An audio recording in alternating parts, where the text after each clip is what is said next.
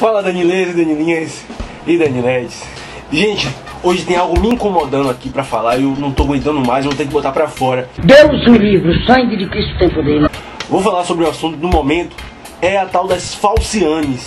Você sabe o que é isso? Você sabe quem é isso? Onde ela habita? A falciane tem como característica principal o esquecimento de seus próprios atos e aquele velho sorriso amarelo. É criticando os outros, é fazendo tudo quanto é miséria, arrumando macho. Outra característica da falciane é que ela quer sempre ser o centro das atenções. Ela tem estratégias para sempre que você está falando algo, elas mudarem de assunto e elas passarem a ser verdadeiramente o centro das atenções. Amiga, você não está percebendo que todos estão me olhando? E devo estar abalando o coração deles. Ô amiga, eu sei que tá todo mundo te olhando, mas desculpa.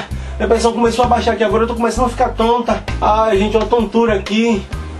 Ai, amiga, estou tão feliz. Todos os meus objetivos profissionais eu estou conseguindo alcançar. Ai, amiga, eu estou muito feliz por você.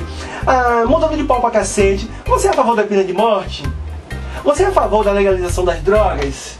O que, é que você acha? Gays têm direito ao voto? Ô Danilo, como é que você sabe das falcianes tanto assim?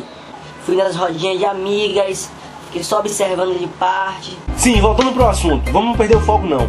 Ao você dar uma notícia boa pra Falciane, a reação dela vai ser sempre de surpresa. E ela vai se desdobrar para tentar enganar você com a falsa alegria. E eu tenho um babado fortíssimo para te contar. Estou namorando com o Juninho, o maior gato do colégio. Ai, amiga, tô surpresa! Choquei! Com o Juninho! Ai, meu pai, surpresa porque você está surpresa, amiga. Eu tenho capacidade também. Oxe, mulher, é porque eu tô feliz por você. Oxe, quem já viu, eu vou ter inveja assim de você, jamais. É porque eu fiquei tão feliz que eu nem acreditei. Deixa eu te dar um abraço aqui, vá. E é isso aí, galera. Se afaste desses falcianes, se afaste dos falcianos. Essas amizades, essas pessoas não vão fazer bem pra vocês. Não vai te acrescentar em nada. Eu queria pedir a vocês que comente aqui no vídeo uma situação engraçada que já aconteceu relacionada às falcianes e os falcianos. E não se esqueça de se inscrever no canal, não se esqueça de curtir os vídeos, mostrar pra um amigo, um amigo. Isso vai ajudar pra caramba e vai me motivar pra continuar fazendo vídeo. Valeu? E é o canal Silva Danilo, meu irmão.